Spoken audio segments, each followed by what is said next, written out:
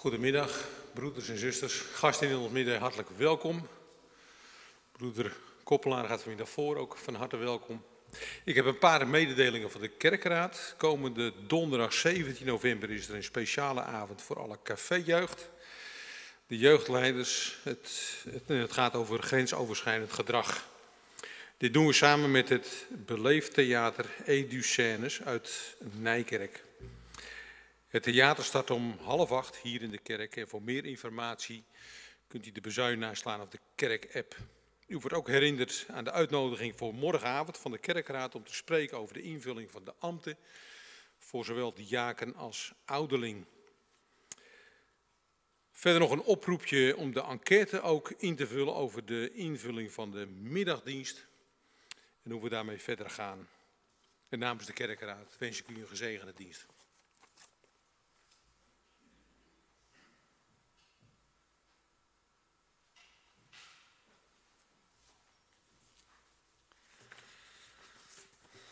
Goedemiddag, broers en zussen.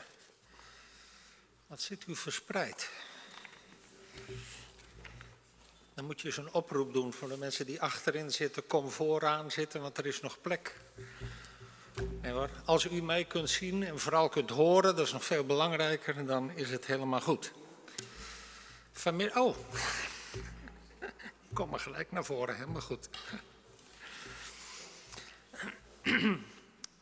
um, Vanmiddag eh, is het een soort leerdienst. Dus wel iets anders wellicht dan u gewend bent. Hoewel, gewoon een preek en we zingen met elkaar tot eer van onze God.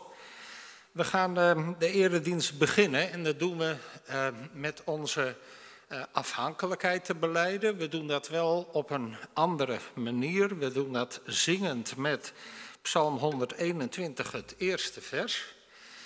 Daarna mag ik u de groet meegeven en beamen we datgene wat we horen en ontvangen. En daarna, direct aansluitend, zonder verdere aankondiging, is er een luisterlied.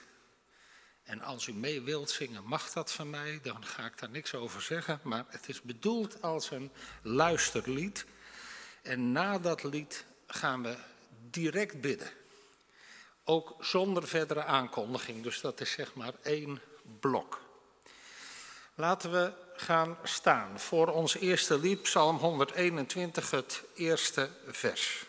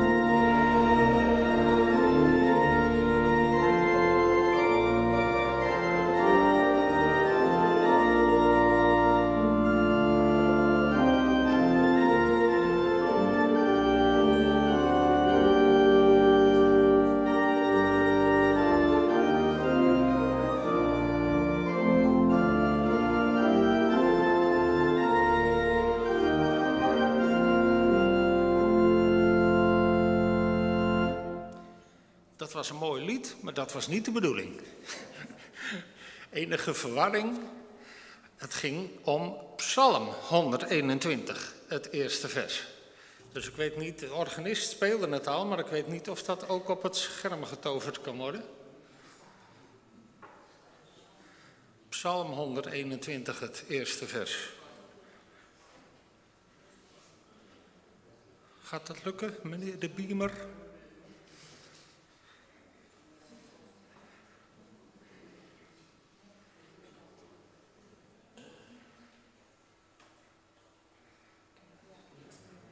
Kijk.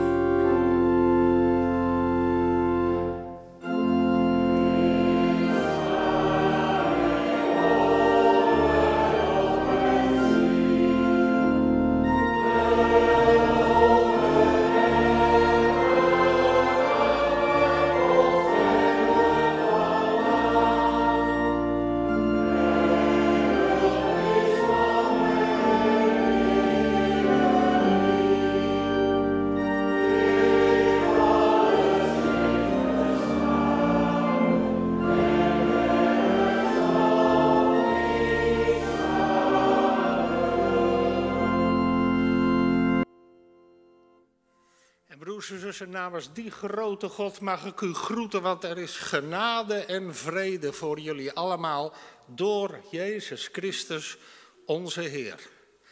Amen.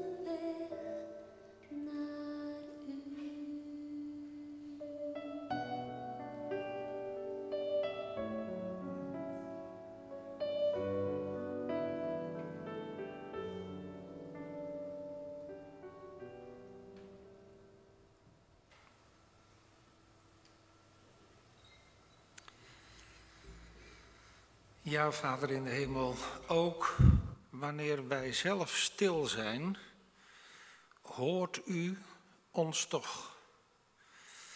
Want dingen die in ons hart en in onze gedachten naar boven komen, zijn als een open boek voor u.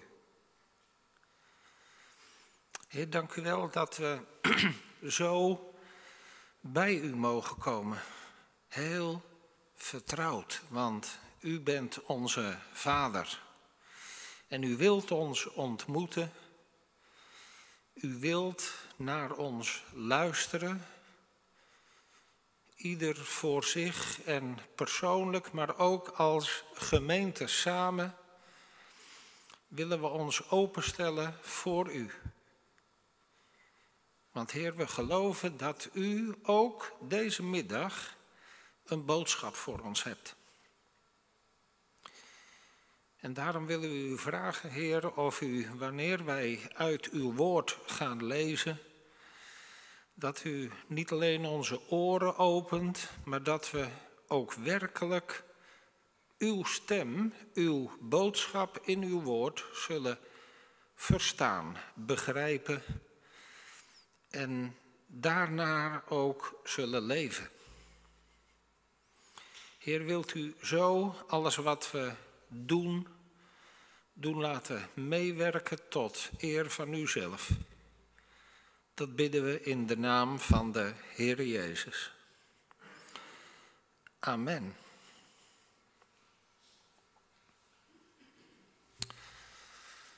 Broers en zussen, mij is gevraagd om een catechismespreek te houden vanmiddag. En ik mocht zelf kiezen, dat is wel gemakkelijk. Want dan kun je misschien wel, wat in dit geval niet eens zo was, een preek kiezen die je al ergens op de plank hebt liggen. Maar dat is voor vandaag niet het geval. En ik heb ervoor gekozen zondag 24 van de Heidelbergse Catechismus met u te gaan bespreken, daar naar te luisteren. En eh, daarvoor willen we eerst twee gedeelten lezen uit Gods Woord, gelaten 5 vers 1 tot 6 en Romeinen 6 vers 1 tot 14. En na de schriftlezing zingen we gezang 168, Vader vol van vrees en schaamte.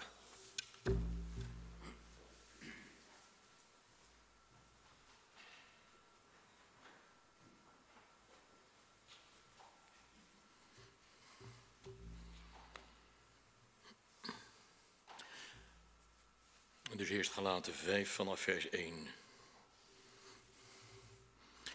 Christus heeft ons bevrijd, opdat wij in vrijheid zouden leven.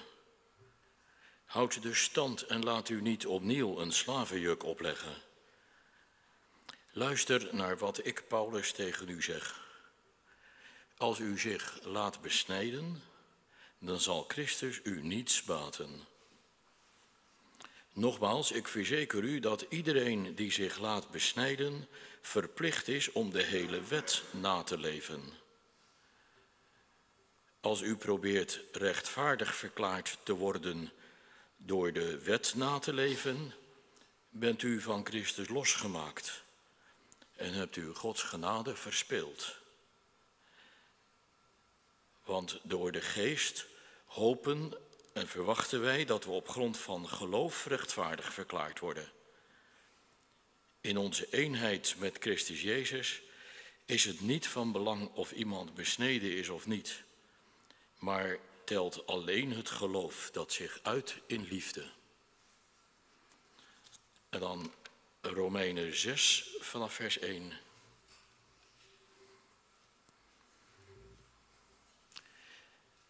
Betekent dit nu dat we moeten blijven zondigen om de genade te laten toenemen? Dat in geen geval. Hoe zouden wij die dood zijn voor de zonde nog in zonde kunnen leven? Weet u niet dat wij die gedoopt zijn in Christus Jezus zijn gedoopt in zijn dood? We zijn door de doop in zijn dood met hem begraven om, zoals Christus door de macht van de Vader uit de dood is opgewekt, een nieuw leven te leiden. Als wij delen in zijn dood, zullen wij ook delen in zijn opstanding. Immers, we weten dat ons oude bestaan met hem gekruisigd is, omdat er een einde moest komen aan ons zondige leven.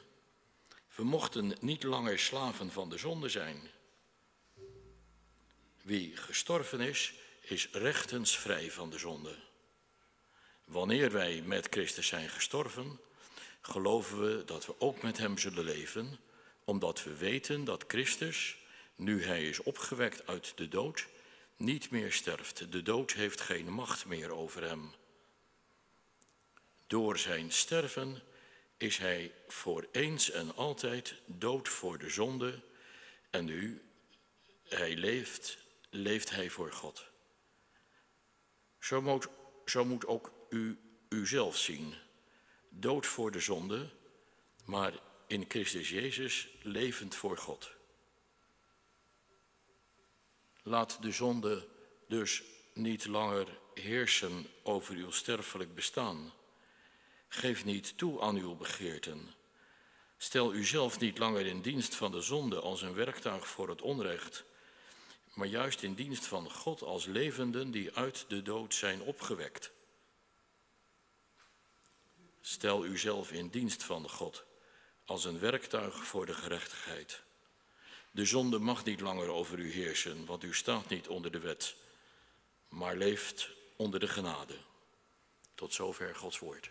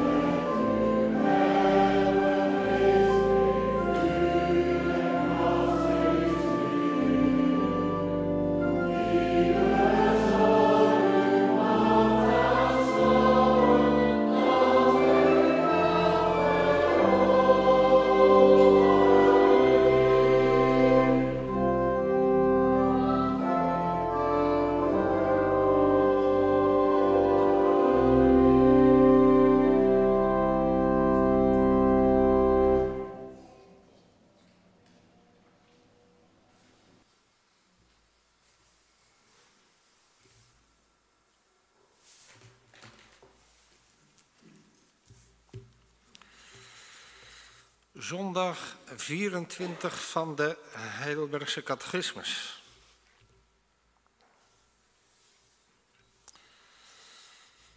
En dan lezen we als eerste vraag 62. Maar waarom kunnen onze goede werken niet de gerechtigheid voor God of een deel daarvan zijn? Omdat de gerechtigheid die voor Gods gericht bestaan kan geheel volmaakt en in alle opzichten met Gods wet in overeenstemming moet zijn, terwijl zelfs onze beste werken in dit leven allemaal onvolmaakt en met zonde bevlekt zijn. Vraag 63. Maar hebben onze goede werken dan geen verdiensten? God wil ze toch in dit en in het toekomstige leven belonen. Deze beloning wordt niet uit verdiensten, maar uit genade gegeven. Maar maak deze leer de mensen niet zorgeloos en goddeloos. Nee, want het kan niet anders of iemand die door waar geloof in Christus ingeplant is, brengt vruchten van dankbaarheid voort.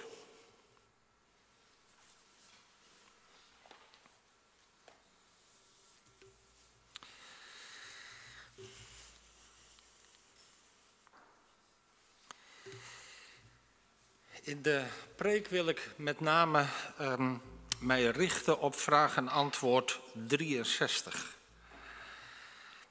En het uh, thema daarvoor is, u ziet het op het scherm staan, genade. Dat is onbetaalbaar en gratis tegelijk.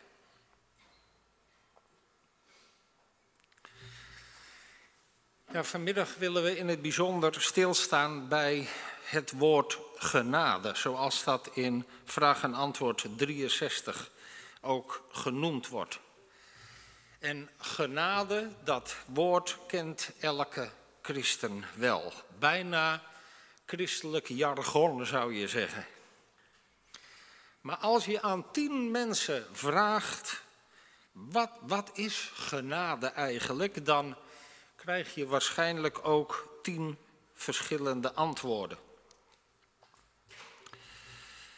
En vrijwel zeker kloppen al die antwoorden ook wel, die er genoemd worden op die vraag. En toch zijn er grote verschillen. Als je aan een niet-christen vraagt naar de betekenis van dat woord, dan wordt het al gauw zoiets als gratie eh, ontvangen. Of gratie geven aan iemand. En het heeft in ieder geval zoiets als je krijgt iets, een cadeau, terwijl je dat niet verdiend hebt. Voor het juiste begrip, want het is tenslotte ook een beetje een leerdienst, ik noemde dat al, even wat achtergronden bij dat woord genade. Wanneer we kijken naar de plaatsen in de Bijbel, vooral in het Nieuwe Testament, waarin de NBV uh, het woord genade wordt gebruikt, bijvoorbeeld in Lucas 2, vers 40, dan staat daar in het Bijbels Grieks charis. Dat woord wat helemaal bovenaan staat. En dat zelfstandig naamwoord charis, dat heeft een betekenis die een beetje afhankelijk is van de context, maar het betekent zoiets als welgevallen of gunst of uh, dankbaarheid. Charisma, dat is ook het woord wat van dit werkwoord is afgeleid. En dat woord kennen we wel. En dat betekent dan zoiets als passie uh, of uh, ja, toewijding, om maar een woord te noemen. Maar ook jouw uitstraling, wie jij bent, zeg maar. En in het hedendaagse Grieks, dat is die tweede regel die daar staat. Um, in het hedendaags Grieks, want dat is anders dan het Bijbels Grieks, betekent het Elios. En Elios, dat is zoiets als mededogen of uh, compassie. En soms kan het ook troost betekenen.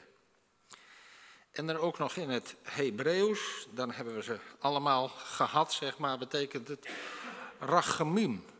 En dat betekent in de context zoiets als um, goedheid zonder aanzien des persoons. Nou, dat even over de achtergrond van het woord um, genade, zoals dat in de Bijbel naar voren komt. Genade is dus, zeg ik maar, iets als onverdiende goedheid die je aan iemand laat blijken.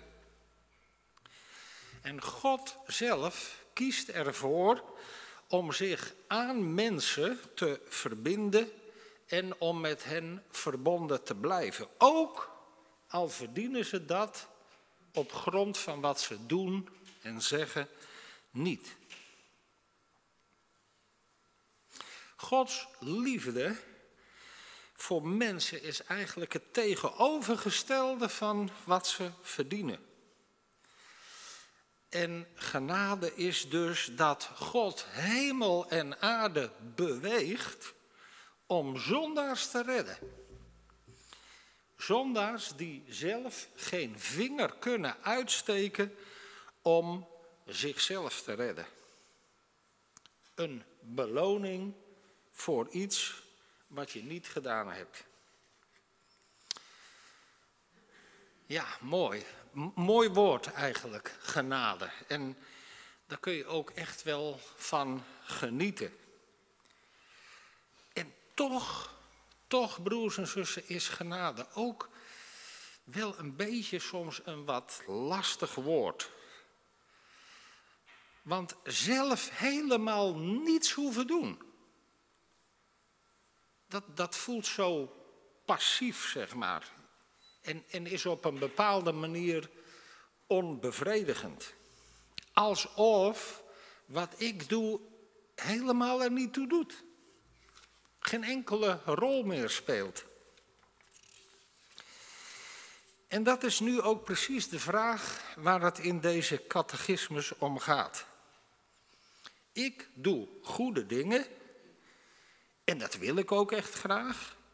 Want ik weet wat Jezus voor mij gedaan heeft. Dus wil ik iets terugdoen. En eigenlijk vind ik dat best een verantwoorde gedachte. Iemand heeft iets voor mij gedaan. Ik ben daar erg blij mee. En dan wil ik ook iets terugdoen voor datgene wat diegene voor mij gedaan heeft. Maar dat is niet de vraag waar het hier om gaat in de catechismus. De vraag is, als ik goede dingen doe, dan mag ik toch ook verwachten dat die ander iets voor mij doet. Dat het me zeg maar iets oplevert. Maar als dat de gedachte is, ja, dan, dan koop je er zeg maar iets mee. Ik ga, ik ga dingen doen dan verwacht ik wel dat het me iets oplevert. Maar dan de andere kant. Ik vroeg er helemaal niet om en toch had hij of zij het al voor mij gedaan. Kijk, als iemand iets voor jou doet omdat je dat aan diegene vraagt, dan, dan is dat al fijn. Maar als iemand ongevraagd omdat diegene gezien heeft dat jij dat nodig hebt, iets voor jou gedaan heeft of doet, dan is dat toch helemaal geweldig. Als diegene daar spontaan mee komt. En het kan zelfs nog een stapje verder gaan. Je hebt helemaal niets goeds gedaan. Sterker nog, je hebt iemand gekwetst. En die ander die gaat dan toch iets goeds voor jou doen. Hoe zou je je dan voelen? Ik zei het al, als het allemaal genade is en je er helemaal niets voor hoeft te doen, zelfs niets doen kan, dan wordt het zo passief. Het overkomt mij, zeg maar. Maar God heeft toch niet voor niets zijn wetten gegeven? Misschien is die vanmorgen in de dienst de wet ook weer gelezen. En die wetten die zijn goed en helpen mij om een leven te leiden zoals God het graag ziet. En daar wil ik me dan dus ook zo goed mogelijk aan houden. En als ik dat dan doe, dan verwacht ik toch ook iets van waardering of zo. En de zin goede werken doen kan gemakkelijk onjuiste gedachten en gevoelens oproepen. Maar goede werken zijn ook, ik doe wat er van mij wordt gevraagd. Ik hou me aan de regels. En ik luister zonder tegenzin als iemand anders iets tegen mij zegt. Gelijktijdig als het allemaal wet is en er is geen plaats voor genade, dan moet je je gewoon aan de regels houden. Punt uit. In de Bijbel wordt heel positief gesproken over de wet van God. En Jezus zelf zegt dat hij gekomen is niet om de wet te houden, zeg maar, maar om de wet te vervullen. Niet af te schaffen, maar te vervullen. En Gods geboden nadoen en navolgen en doen en gelijktijdig uit genade leven, dat lijkt niet goed met elkaar eh, samengebracht te worden.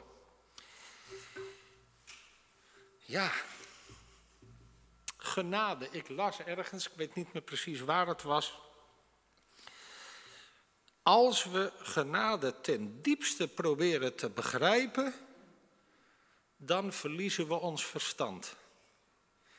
Als we genade ontkennen en het min of meer van eigen prestaties verwachten, dan verliezen we ons geloof. Kijk, in veel opzichten functioneert de wet van God heel goed in de levens van mensen. Je houden aan de wet van God, dat maakt je tot een mooi mens. Die voldoet aan de bedoelingen van God. Maar die wet kan ook heel verkeerd functioneren. Namelijk als een soort handleiding voor jouw presteren. En het werken aan jouw redding door eigen kracht. Die rijke jongeling, u kent het verhaal wel, die kwam bij Jezus en hij zei: Ik hou me aan de wet. Dus wat moet ik nog meer doen? Weet u, als dat de gedachte is, dan wordt de wet een meetlat waarlangs je je eigen presteren gaat afmeten. En de schriftgeleerden, ze rafelden de Torah, de vijf boeken van Mozes, uit in 613 geboden en verboden. En die kwamen als een zware last op de schouders van mensen te liggen. Je moet het beter doen. Je komt nog niet eens in de buurt van een perfect leven. En dan is de wet een wet die je eindeloos moe maakt en je een machteloos gevoel geeft. Het drijft je tot wanhoop en voortdurend schuldgevoel. Die wet houden zoals God het wil, dat kan ik toch nooit. En, en zelfs als ik het probeer, ik ben nooit goed genoeg. Maar dan wordt het een wedstrijd om de hoogst mogelijke score te behalen. En dan ga je heel snel jezelf vergelijken met anderen. Dan gaan we misschien zelfs anderen wel de maat nemen. En kijken we neer op anderen die niet zo'n hoge score hebben als jijzelf. En wat is daarvan het resultaat? Het wordt trots. Kijk mij eens hoeveel goede werken, goede dingen ik doe. Of het kan ook moedeloosheid worden. Dan ga je bij de pakken neerzitten en je concludeert met alle goede dingen die ik doe, bereik ik uiteindelijk toch niks. Dus waarom zou ik het nog doen? Alles wat ik doe stelt toch niks voor. Maar in feite ben je dan te trots om je over te geven aan Jezus en zijn genade. Voor alle duidelijkheid, Gods goede woorden in de wet spreken mij echt aan. Maar ik hou niet van een wet die alleen maar tegen mij zegt: je bent zondig. Je haalt het niet bij wat ik geboden heb. Wat ga je daaraan doen? Ik hoor u bijna denken: nee, natuurlijk niet. Zo, zo werkt het niet. Maar in de praktijk van de dag, als ik eerlijk ben, en ik kan niet namens u spreken, dan functioneert het wel vaak zo. Gij zult niet doodslaan. Nou, dat is een makkie, toch? Ik heb nooit iemand doodgeslagen. Check, die heb ik gedaan. De volgende. Gij zult niet echt breken. Afgelopen maand waren wij 48 jaar getrouwd. Mooi. Check. Die heb ik ook afgevinkt. En een inbraak gepleegd of een geldautomaat opgeblazen heb ik ook nooit gedaan. Check. Maar uh, nooit, nooit iets gestolen. Of laat ik het iets vriendelijker zeggen. Iets weggenomen zonder toestemming. Geen vals getuigenis spreken. Hmm. Niet begeren. Oké, de vrouw van je naaste. Het huis van je naaste.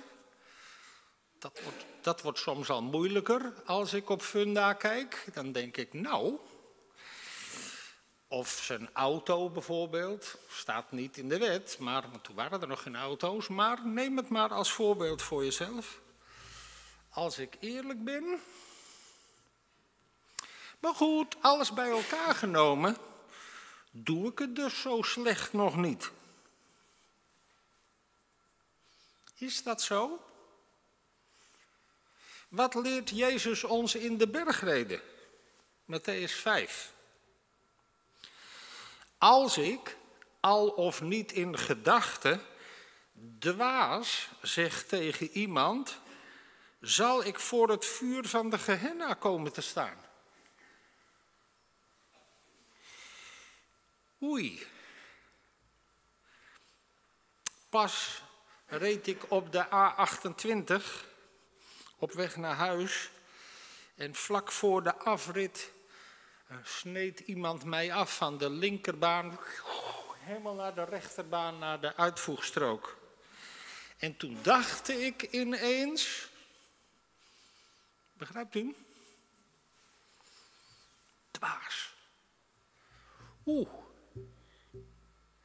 Als ik al of niet in gedachten dwaas zeg tegen iemand, zal ik het voor het vuur van de Gehenna staan.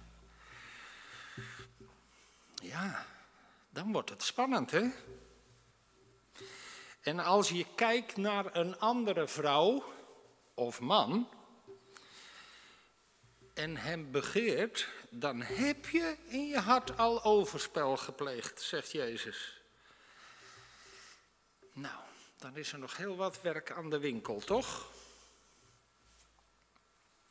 Een leven, broers en zussen, dat helemaal in overeenstemming is met de wet.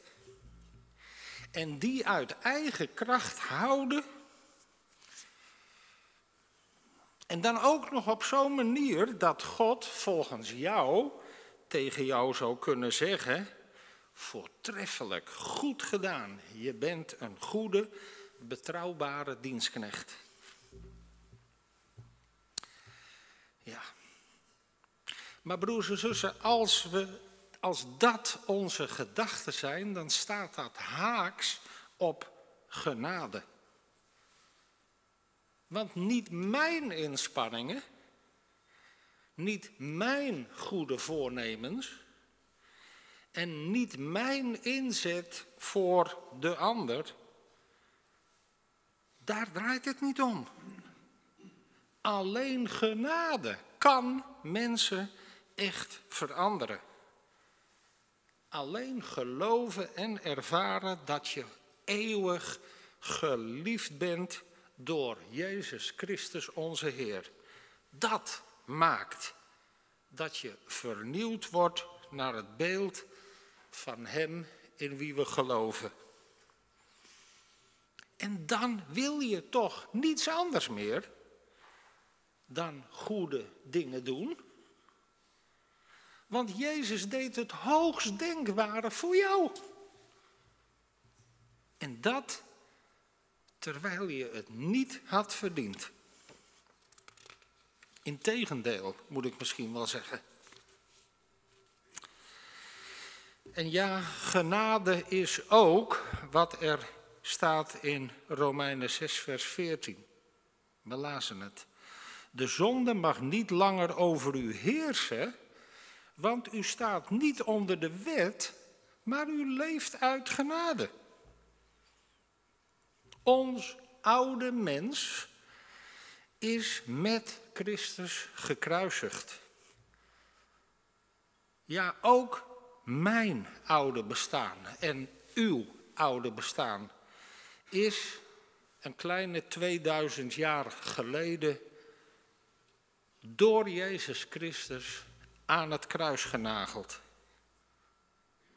Onze zonde, onze fouten en gebreken, ons niet functioneren zoals God het heeft bedoeld.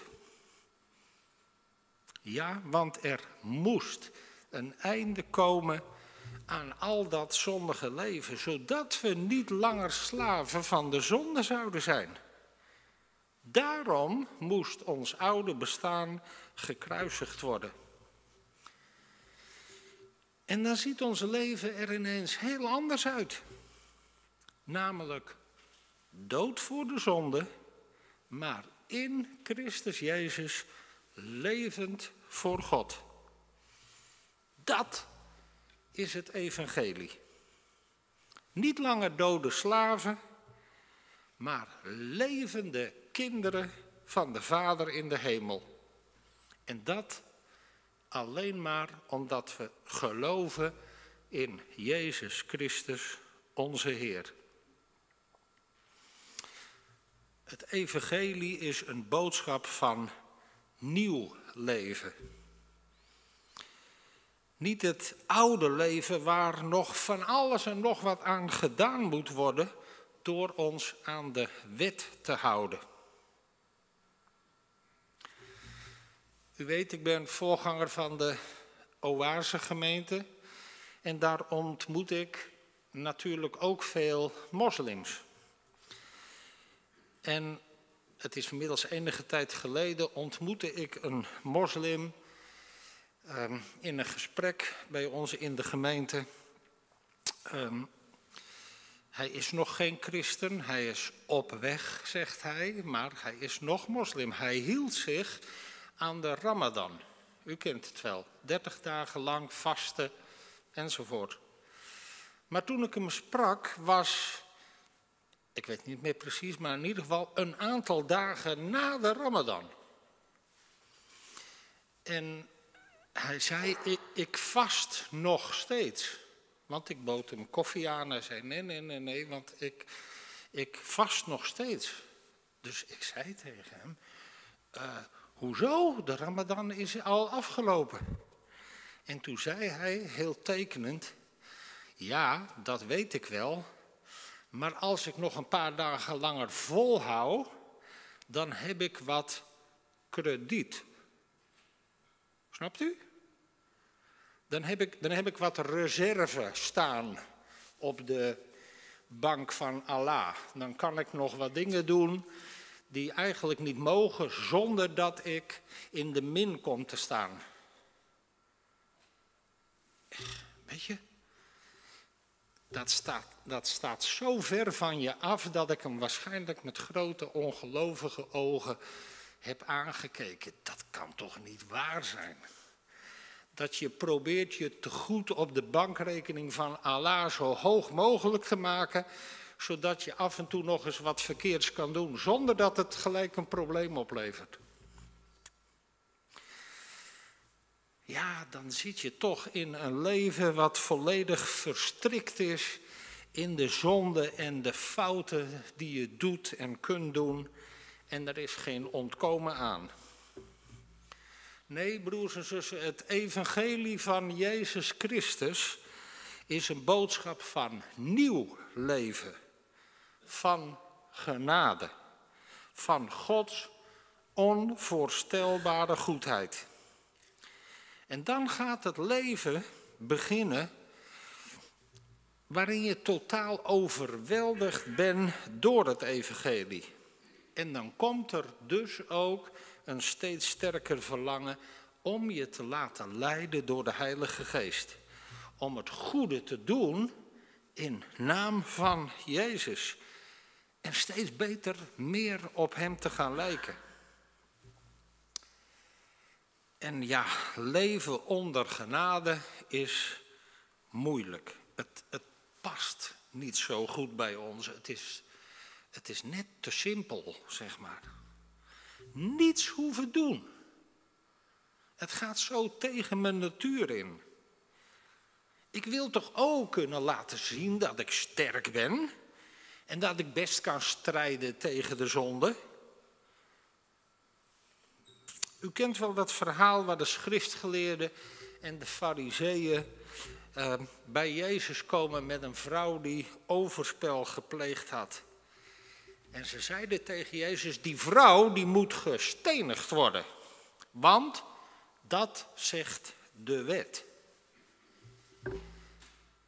Maar Jezus zegt, ik veroordeel je niet. Ga naar huis en zondig niet meer. Dat, dat is genade. Jezus gaf haar een tweede kans. Een kans om je te bekeren en een leven te leiden dat bij Hem past. En als we dat nou weten en tot ons laten doordringen, zouden wij dan ook niet een leven gaan of willen gaan leiden dat echt bij Jezus past?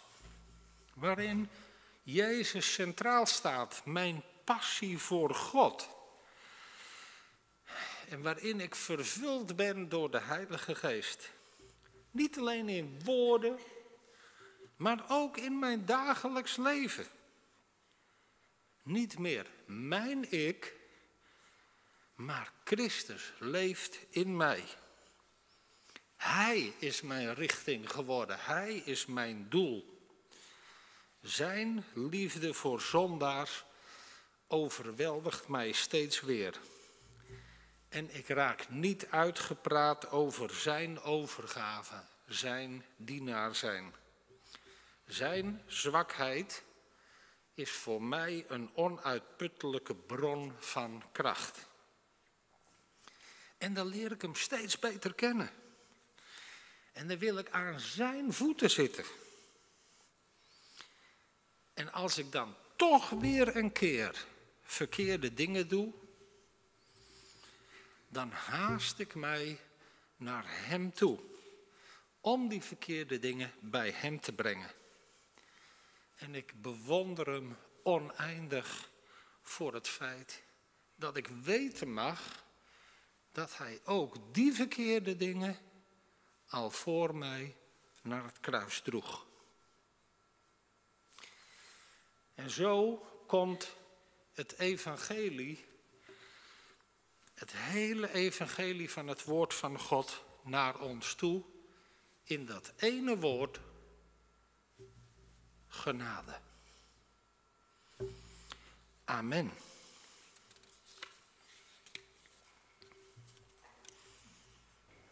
Één plaatje vergeten. Zijn genade is elke dag weer nieuw. Laten we zingen. Ik zou bijna zeggen een voor de hand liggend lied. Genade zo oneindig groot of Amazing Grace.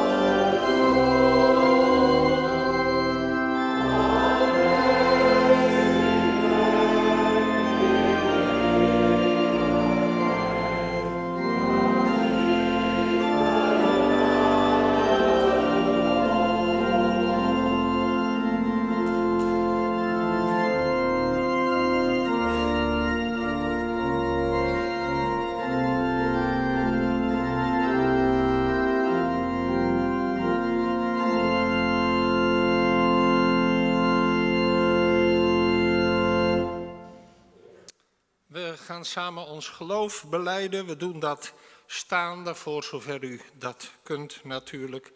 En we doen dat met gezang 176, alle vierde versen.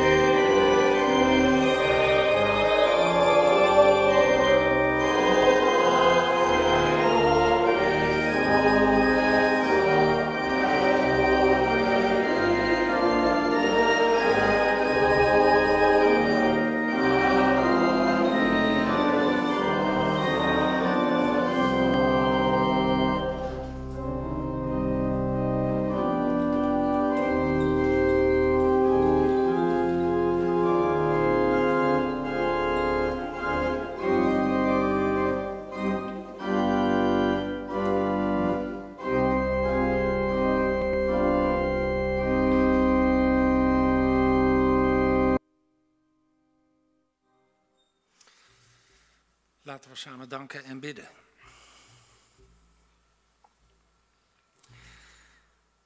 Vader in de hemel, dank u wel voor die heel bijzondere boodschap die u ons vanmiddag wilt meegeven voor de dagen en weken die voor ons liggen.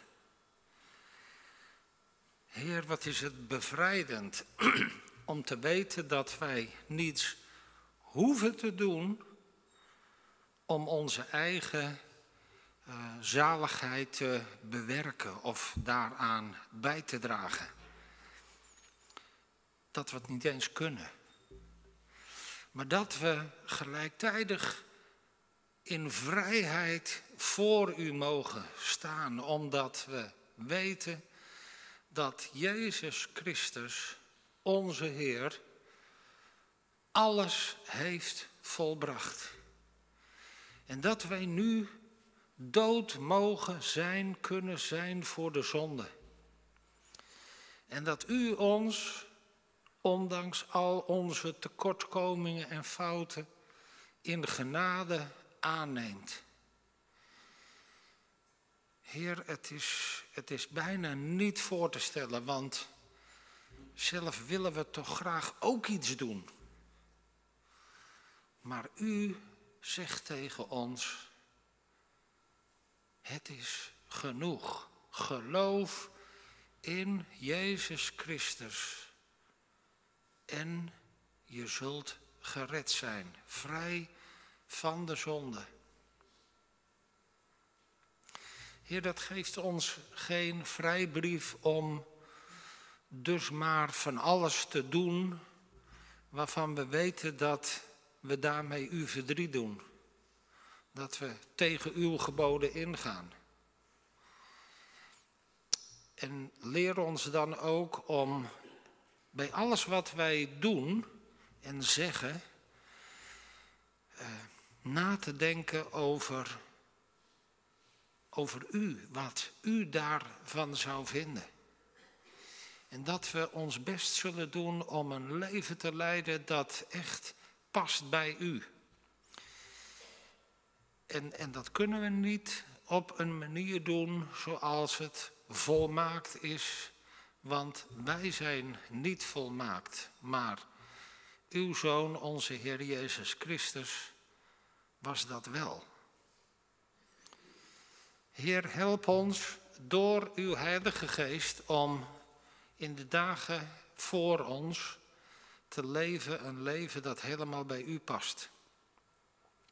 En wijst u ons er maar op wanneer we dingen doen die tegen uw wil ingaan. Zodat we ootmoedig ook uw Zoon, Heer Jezus, kunnen vragen om vergeving van die zonde in de wetenschap dat wanneer wij dat met een oprecht hart aan u vragen, dat u die zonde al hebt weggedaan aan het kruis. Geprezen is uw naam, van nu aan tot in eeuwigheid. Amen. Er is gelegenheid voor de collecte. De collecte is bestemd voor het jeugdwerk en voor de diaconie, zie ik. En u kunt dat doen via de gift-app en waarschijnlijk ook in een collectezak, of ja? Bij de uitgang. Heel goed. U weet dat veel beter dan ik. We zingen tot slot gezang 238, het eerste vers. Ik bouw op u, mijn schild en mijn verlosser.